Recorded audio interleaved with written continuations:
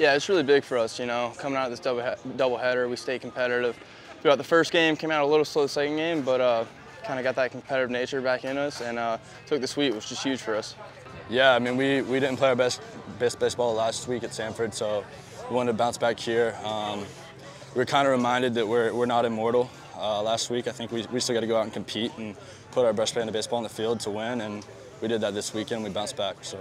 Um, yeah, I was just trying to uh, look for a pitch in my spot, uh, be aggressive to it, and be in the right uh, timing and mindset.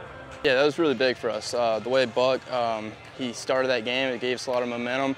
And you know, Dalton, we can always rely on Dalton, and um, that was big for him uh, to get us out of that.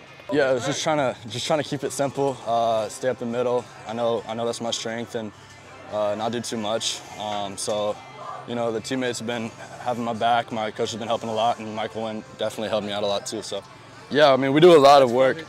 We do a lot of work with One Fungo in practice, and um, a lot of game simulated stuff. And um, you know, anytime we we make errors and stuff like that, just drilling those fundamental plays in and those routine plays in, it, it pays off in situations like this. Yeah, it was. It was. Uh, I was just trying to get my pitch, trying to put put a good swing on it, and a lot of guys put some good at bats in front of me, and it, it was successful. We just never feel like we're out of it. You know, we uh, no matter what the score is, you know, we always play that high level, and we're never out of a game. So that's uh, keep that resilience is huge for us. We just got to continue to put our brand in the field like we've been doing, and it all play out.